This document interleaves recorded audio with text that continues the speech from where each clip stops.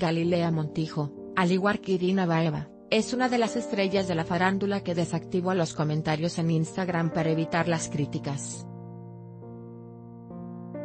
La presentadora de hoy tomó la anterior decisión luego de que se dijera que había declarado que se iría del país en caso de que Andrés Manuel López Obrador ganara las elecciones presidenciales. Cuando ganó López Obrador, usuarios de redes sociales se lanzaron en contra de Galilea Montijo para que cumpliera lo que supuestamente había prometido. Sin embargo, la presentadora negó haber dicho que saldría del país en algún momento, incluso, en uno de los programas de hoy se ve como la conductora encara a una mujer que la cuestionó al respecto.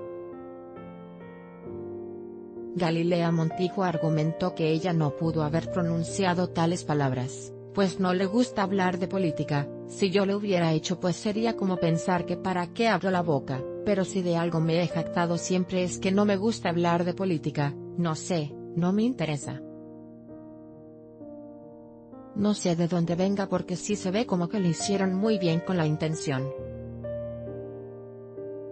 Tampoco sé para qué, no me interesa, no sé por qué tanto ataque, y es muy feo que lo hagan más cuando tú no hiciste nada. Debido a que los ataques en contra de ella no paraban, Galilea Montijo decidió bloquear los comentarios de gente con la que no se sigue mutuamente en Instagram, pues señaló que no quiere que su hijo lea ese tipo de cosas. El hecho de que cierta gente te ataque me da risa, he aprendido a que no me duela. Me dolía más ver llorar a mi mamá y a mi abuelita, pero me ha hecho una mujer más fuerte, y si me he encerrado un poquito más, ya no soy tan abierta. ¿Qué opinas sobre la medida que tomó Galilea Montijo? Fuentes, El Universal y la Neta Noticias anímate a comentar. Queremos saber tu opinión. Comentarios por Eva y Facebook Comments.